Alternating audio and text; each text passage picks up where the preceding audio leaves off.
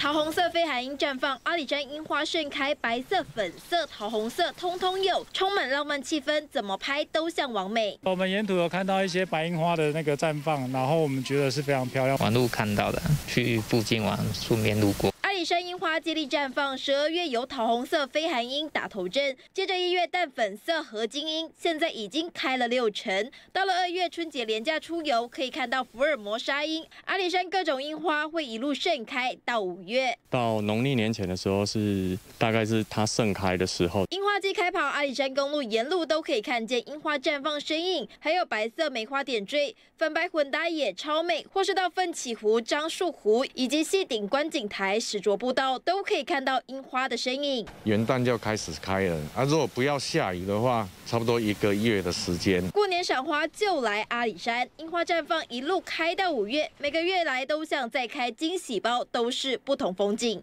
记者侯国文、邓敏、林义荣加以报道。